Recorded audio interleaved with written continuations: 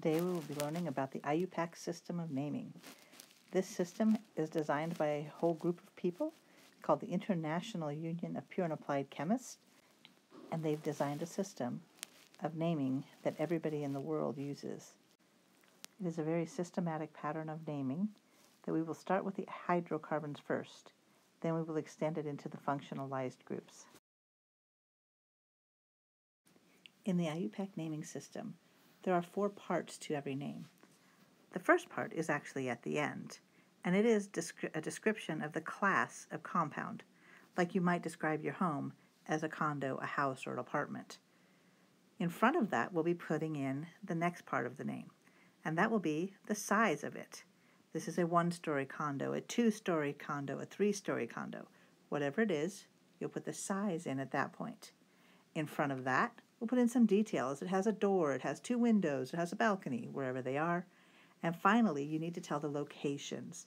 The locations tell us where the detailed parts are and sometimes where the class of compound is identified.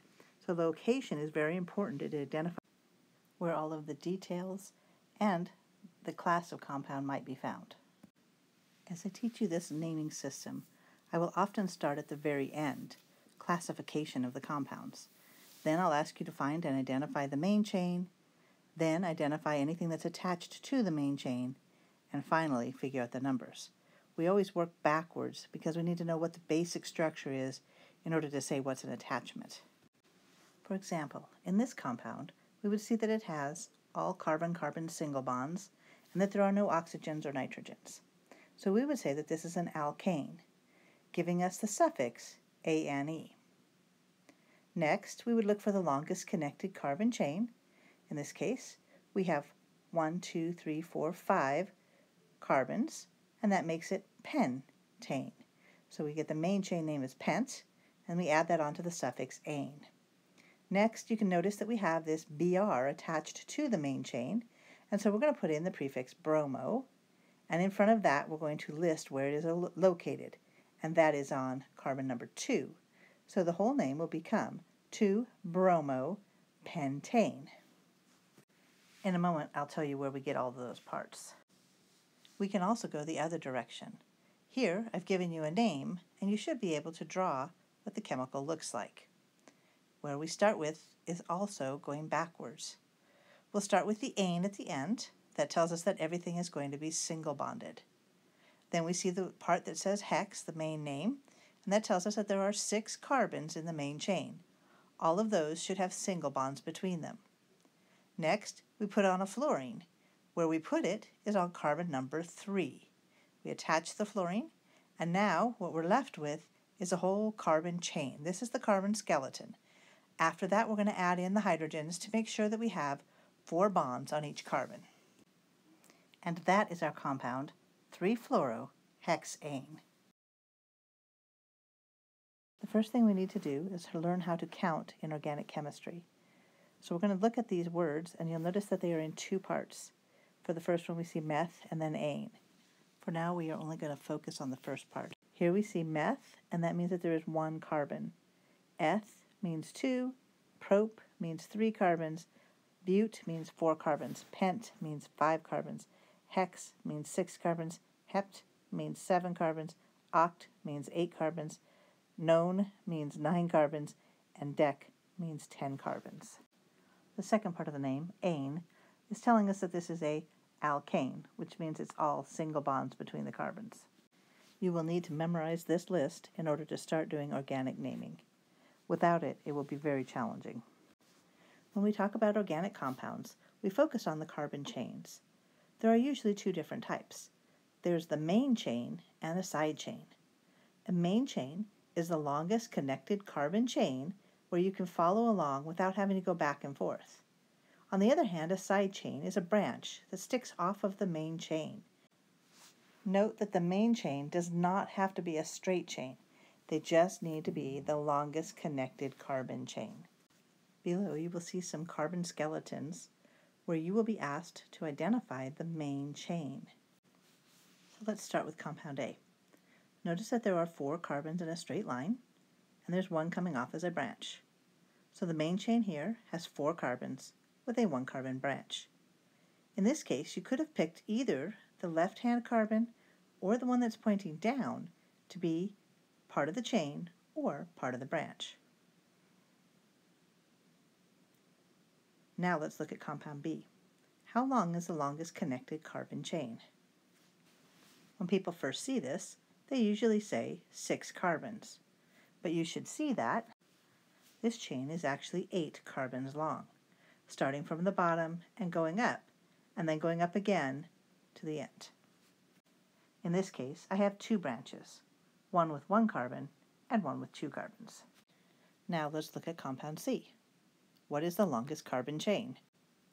Did you pick 6, 8, 11, maybe even 14? Well, the answer is 11. So if we follow this from the upper right-hand corner and count, and count backwards, back. we get to that point where there's a branch with three carbons coming off of it. Go down, follow it around, and come back up on the other side, and you'll see that there are 11 connected carbons. There are also three branched carbons, one carbon each, for a total of 14 carbons. But again, the main chain is only 11 carbons long. Okay, last one. Letter D. How long is the longest connected carbon chain? Hopefully you got eight. And you can see that there are three side chains, each with one carbon long, total of 11 carbons, but eight is our main chain. You now would be able to do a part of the naming for each of these. For all of them, they're going to end with ane, because they're all alkanes. In front of that, you'll put in the number of carbons in the main chain. So for letter A, we have four carbons in the main chain. That will be butane. For letter B, we had eight carbons in the main chain, and that will be octane. And uh, letter C, you don't know this one, it's not in your list, but if you have 11 carbons, it's called undecane, like undies, U-N-D-E-C-A-N-E. -E. So undecane. And letter D, we're going to find that we had eight carbons long, so this will be another form of octane. Now the fact that we have two different octanes, but they are attached in different ways, these two are going to be called isomers. We'll discuss that much later. Now we're going to focus on those side chains, also known as substituents. The first type of substituent we can look at are the alkyl side groups. Here, the alk means hydrocarbon chain, and the YL means attached. So we're looking at carbon chains that are attached to the main chain. These are sometimes called R groups, just standing for alkyl chains. So let's look at the first one. First we have meth and then YL. So we break all of these words into two pieces. Meth, YL, ethyl, propyl, isopropyl, and butyl. The meth means one carbon side chain. Eth means two carbon side chain. Prop means three carbon side chain. I'm going to skip the next one for a moment. And then we go down to but, and it means four carbon side chain. These are all attached to the main chain, with the YL telling us that it's an attachment. Now I did skip isopropyl, and I need to go back to that one. In this case, we have prop in the middle of its name. That means that there are three carbons. But the iso says that it is not attached at the end of the three carbons, but rather in the middle of those three carbons. It doesn't matter where it is on the chain, it only matters that it is attached to the middle of the three carbons in the propyl part of the chain. Another very common substituent are the halogens. In this case, it's very simple. If it's a fluorine, we're going to call it fluoro. If it's a chlorine, we'll call it chloro. If it's a bromine, we'll call it bromo. And if it's an iodine, we'll call it iodo. And again, these are attached to the main chain. In this case, the O is telling us that that halogen is attached.